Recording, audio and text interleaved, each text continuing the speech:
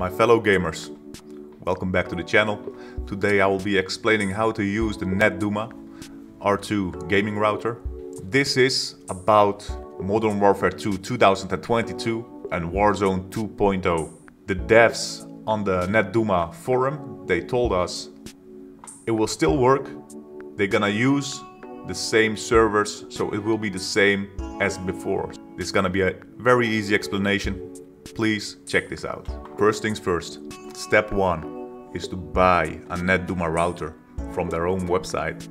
How you can buy it, I'll show you the website. It's very easy, you can order it from here. It's 185 euros. That's the same amount of dollars, I think. So step two is go in the admin interface, ping the heat map. If you go to ping heat map, you can select a ping target. That means you can check what kind of gaming servers were they at at the moment. For example, I choose Call of Duty Warzone. You see it's automatically pinging all those servers. That means it will be in this list as well, on the select ping list. You will be able to see it, they will add it. So step 3 is the geo filter. Add device, that's very important, you have to add your device. This works on the PlayStation, it works on the Xbox, it works on a PC, laptop, adding the device. For example, I'm using my PlayStation. I'm clicking next.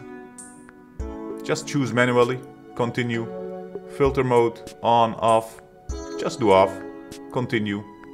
It's applying the settings, we do finish. Step 4, set home manually, you choose that. I'm gonna choose, for example, I wanna play on USA lobbies, because USA lobbies are easier than the Europe lobbies, over this side of USA. I'm choosing that. With the set distance, you can make the circle bigger or smaller. Yeah, you can make it bigger so we can capture all of uh, USA, or you just say, hey, I just want this part of USA. You can set a ping assist. Just put it on zero. That's my advice. We're gonna filter it right now. It's applying the settings. Step five. All right, here we go.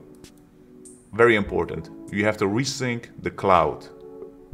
It will apply the settings like you see it right now Sometimes you get this message, don't worry about it, just click OK. And that's it. You're all set up. So my advice would be ping 105, 120, it's very good. Above 150 ping, don't do it.